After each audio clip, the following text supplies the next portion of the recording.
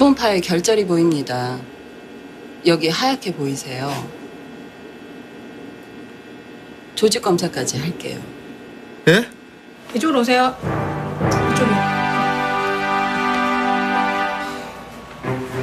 손 여기 잡으시고요. 손 여기 대시고 여기.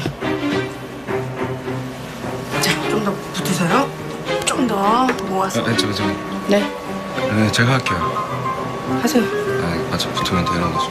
좀 더요. 아파 좀만 참으세요.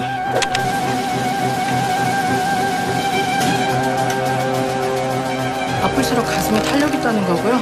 아플수록 젊다는 거고요. 조금만 더. 정확한 검사를 위해서요. 자, 조금만 더. 조금만 더. 조금만 더.